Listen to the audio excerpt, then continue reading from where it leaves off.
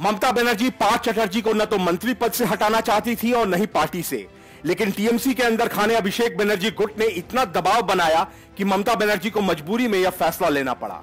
कुणाल घोष, जिन्हें अभिषेक बनर्जी का करीबी माना जाता है, सबसे पहले उन्होंने सार्वजनिक रूप से पार्थ चटर्जी को मंत्री पद और पार्टी से बाहर करने की मांग कर डाली। और यह भी कर डाला कि पार्थ चटर्जी को बाहर किया जाए, नहीं तो उन्हें पार्टी से निकाल दिया जाए।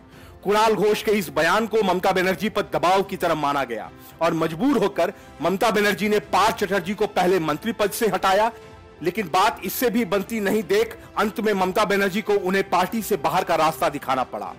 यह टीएमसी में अभिषेक बनर्जी की पहली बड़ी जीत मानी जा रही है। वजह यह कि पार्थ चटर्जी न सिर्फ़ ममता बनर्जी के बेहद करीबी थे, बल्कि उनकी हैसियत पार्टी में नंबर दो की थी। और इसी नंबर दो का शिकार कर अभिषेक बनर्जी ने ममता बनर्जी को मात दे दी। अभिषेक बनर्जी चाहते हैं कि ममता बनर्जी बंगाल उनके हवाले कर राष्ट्रीय राजनीति में जाएँ, लेकिन ममता बनर्जी को यह सब मंजूर नहीं था। इससे पहले प्रशांत किशोर के साथ मिलकर अभिषेक बनर्जी ने कुछ ऐसा ही खेल किया था लेकिन तब ममता बनर्जी इस बात को भाप गई और उन्होंने प्रशांत किशोर की छुट्टी कर दी और अभिषेक बनर्जी के पर कतर डाले। लेकिन पार्थ चटर्जी के गिरफ़्तार होते ही अभिषेक बनर्जी के सोए अरमान फिर से जाग उठे। यही वजह है कि पार्थ का मंत्री पद और पार्टी से निकाले जाने के तुरंत बाद अभिषेक बनर्जी ने उन पर सीधा हमला किया। अभिषेक बनर्जी ने कहा कि पार्थ चटर्जी को महासचिव, राष्ट्रीय उपाध्यक्ष और तीन अन्य पदों से हटा दिया गया है।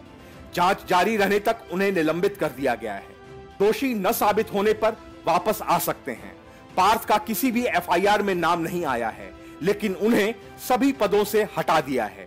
अभिषेक बनर्जी ने कहा कि मुख्यमंत्री ने फैसला लिया और पार्थ चटर्जी को मंत्री पद से हटा दिया गया।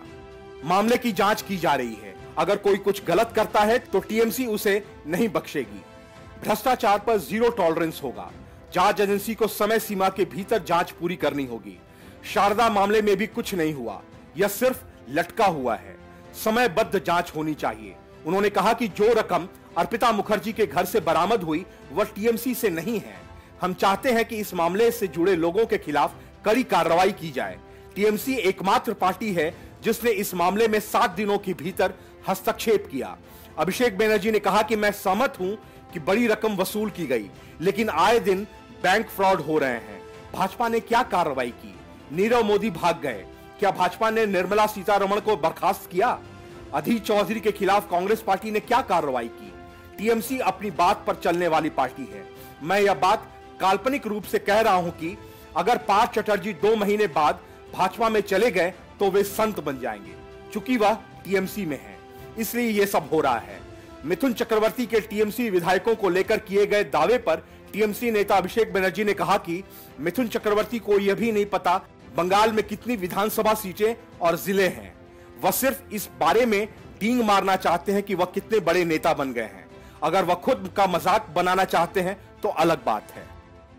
Bureau report, news of India.